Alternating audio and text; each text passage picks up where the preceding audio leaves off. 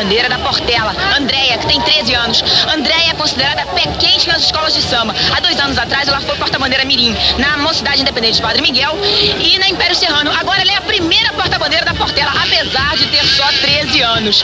E ah, vamos ver como é ela se sente como primeira porta-bandeira. Andréia, como é que é sair como primeira porta-bandeira, assim, logo de início, com 13 anos? É uma emoção muito grande, uma coisa muito forte, responsabilidade.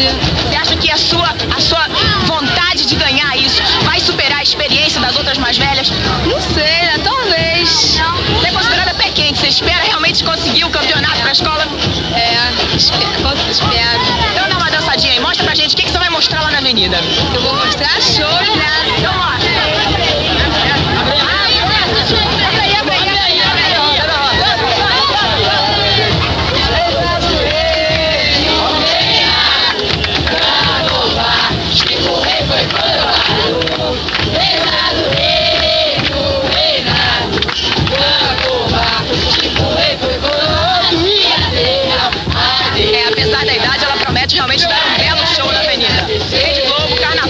três.